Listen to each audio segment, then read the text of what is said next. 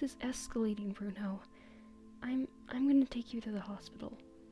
All right? I I don't trust this. Oh, no. No hospitals. Oh my god. Bruno, this is no time for the whole I'm Bruno Domenico, I'm tough, I don't need any help schnick. We're going to the hospital, and that's that. I will drag your ass there if I have to. Oh, oh, fuck me.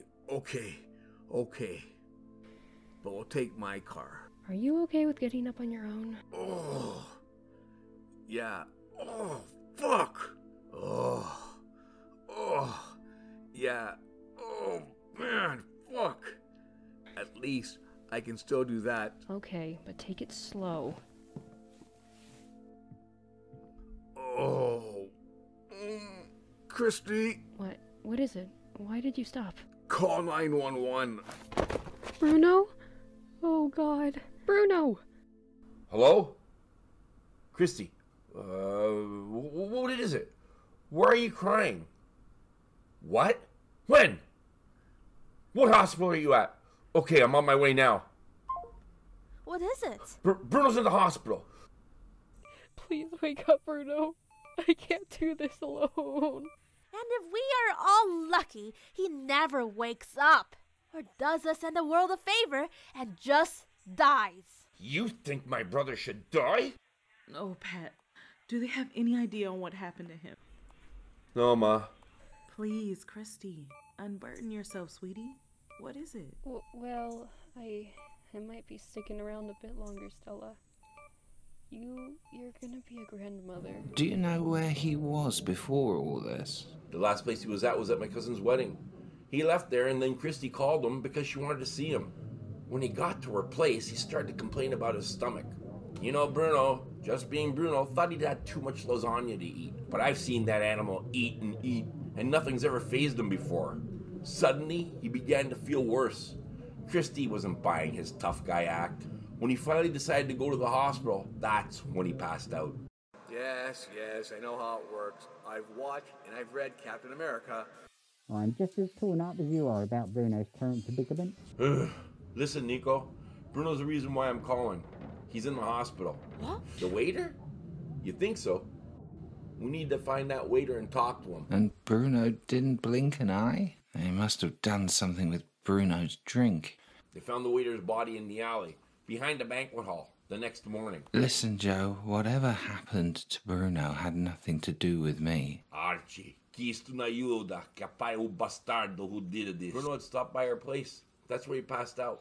Christy made the 911 call. If you don't call a Bruno to come in and see you, then Bruno, being Bruno, desta ragazzo, he had driving the car instead of passing out at your home. In that case, Dad, stop standing here feeling sorry for yourself and get out there and find out who did this. But I also know when you're hiding something from me. I am going to be a grandmother, and I would very much like for my son, your grandson, to be awake when they are born.